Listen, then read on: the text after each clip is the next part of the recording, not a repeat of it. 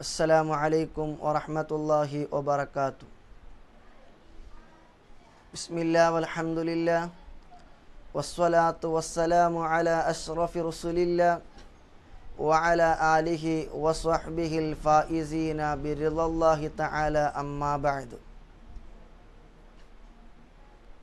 സ്നേഹം നിറഞ്ഞ ബഹുമാനികളെ നമ്മളെ റബ്ബ് സുബഹാനഹുവ താല ഈ ഭൂമി ലോകത്തേക്ക് അവന് ഇബാദത്ത് ചെയ്യാൻ വേണ്ടി നിയോഗിച്ചു. നമ്മുടെ സൃഷ്ടിപ്പിനെ കുറിച്ച് നമ്മൾ ആലോചിക്കുമ്പോൾ നമ്മുടെ സൃഷ്ടിപ്പ് എന്ന് പറയുന്നത് വളരെ അത്ഭുതകരമായ ഒരു സൃഷ്ടിപ്പാണ്. നമ്മൾ റുക്കുഴയിൽ പോകുമ്പോൾ സുജൂതിൽ പോകുമ്പോൾ നമ്മൾ ഓരോ കർമ്മങ്ങൾ ചെയ്യുമ്പോൾ നമ്മുടെ ശരീരത്തിലുള്ള ഓരോ കണുപ്പുകളും അനങ്ങിക്കൊണ്ടിരിക്കുന്നു.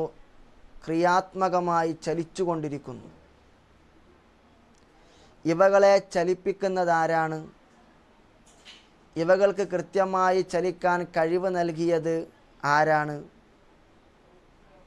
എന്ന് നമ്മളൊന്ന് പരിശോധിച്ചു നോക്കിയാൽ നമുക്ക് നമ്മളെ സൃഷ്ടിച്ച നാഥന്റെ ആ നിയമത്ത് അനുഗ്രഹം നമുക്ക് മനസ്സിലാക്കാൻ സാധിക്കും. നബി സല്ലല്ലാഹു അലൈഹി വസല്ലമ തങ്ങൾ പറയുന്നു യുസ്ബിഹു അലാ കുല്ലി സുലാമ സ്വതക്ക ഒരു മനുഷ്യന്റെ എല്ലാ കണുപ്പുകൾക്കും അവൻ സ്വതക്ക നൽകേണ്ടതുണ്ട്. ഒരു മനുഷ്യന്റെ കണുപ്പുകളെക്കുറിച്ച് ശാസ്ത്രം പറയുന്നു മുന്നൂറ്റി അറുപതോളം കണുപ്പുകൾ അവന്റെ ശരീരത്തിലുണ്ട് എന്നുള്ളതാണ്. മുന്നൂറ്റി അറുപത് കണുപ്പുകൾക്കും സ്വതക്ക നൽകണമെന്ന് പറയുമ്പോൾ സ്വഹാബാക്കൾ അത്ഭുതത്തോടെ നബിതങ്ങളെ നോക്കുമ്പോൾ നബിതങ്ങൾ പഠിപ്പിച്ചു കൊടുത്തു ഓരോ ദിഖുറും ഓരോ തസ്ബീഹും സ്വതക്കയാണ്. ഒരു തന്റെ സഹോദരനെ കാണുമ്പോൾ പുഞ്ചിരിക്കൽ പോലും സ്വതക്കയാണെന്ന് റസൂലുല്ലാഹി സ്വല്ലല്ലാഹു അലഹി വസല്ലമ തങ്ങൾ പഠിപ്പിക്കുന്നു. എന്നിട്ട് നബി തങ്ങൾ പഠിപ്പിക്കുന്നു മുന്നൂറ്റി അറുപത് കെണുപ്പുകൾക്കും സ്വത പകരമായി സ്വതക്ക കൊടുക്കുന്നതിനും മതിയാകുന്നതായ അഥവാ മുന്നൂറ്റി അറുപത് കണുപ്പുകൾക്ക് പകരം സ്വതക്ക കൊടുത്ത അതേ കൂലി ലഭിക്കുന്ന ഒരു നിസ്കാരം നബി സല്ലല്ലാഹു അലൈഹി വസല്ലമ തങ്ങൾ പഠിപ്പിച്ചിട്ടുണ്ട്. ഏതാണ് ആ നമസ്കാരം? അത് നമ്മൾ ജീവിതത്തിൽ പതിവാക്കാറുണ്ടോ? ഉണ്ടെങ്കിൽ അതിന്റെ പ്രതിഫലം നാം അറിഞ്ഞു. ഇല്ലെങ്കിൽ ഇന്നു മുതൽ നാം അത് തുടങ്ങേണ്ടതല്ലേ? ഒന്ന് ആലോചിക്കണം. ഏതാണ് ആ നമസ്കാരം? നിസ്കാരം സ്വലാത്തു ലുഹ. ലുഹ നമസ്കാരമാണ്. ലുഹ നമസ്കാരം അതിന്റെ പൂർണത എട്ട് റക്കായത്താണെങ്കിൽ ചുരുങ്ങിയത് രണ്ട് റക്കായത്ത്.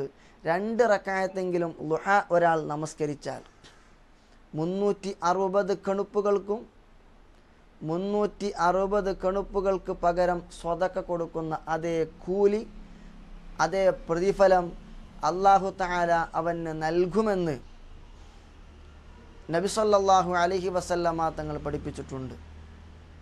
ദുഹാ നമസ്കാരത്തിന്റെ സമയം എപ്പോഴാണ് ദുഹാ നമസ്കാരത്തിന്റെ സമയം സൂര്യൻ ഉദിച്ച് ഇരുപത് മിനിറ്റ് കഴിഞ്ഞതിന് ശേഷം.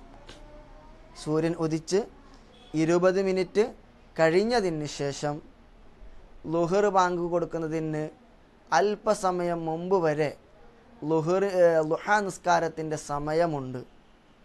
അതിനിടയിൽ നമ്മൾ നമസ്കരിക്കാൻ ശ്രദ്ധിക്കണം. ആ ലുഹ നമസ്കാരം നിസ്കരിക്കൽ ഏറ്റവും ശ്രേഷ്ഠമായ സമയം. പകലിൽ ഒരു മദ്യമാകുന്ന സമയത്താണ്. അഥവാ ഒമ്പതര പത്ത് മണി സമയത്താണ് ഏറ്റവും ശ്രേഷ്ഠമായ സമയം. അതേപോലെ തന്നെ പള്ളിയിൽ വെച്ച് നമസ്കരിക്കലുമാണ് ലുഹ നമസ്കാരം ഏറ്റവും ശ്രേഷ്ഠമായത് എന്ന് പണ്ഡിതന്മാർ നമ്മെ പഠിപ്പിച്ചിട്ടുണ്ട്. ജീവിതത്തിൽ പകർത്താൻ അള്ളാഹു താല നമുക്ക് തൗഫീഖ് നൽകുമാറാവട്ടെ എന്ന പ്രാർത്ഥനയോടെ അസ്സലാമു അലൈക്കും വറഹ്മത്തുള്ളാഹി വബറകാതുഹു.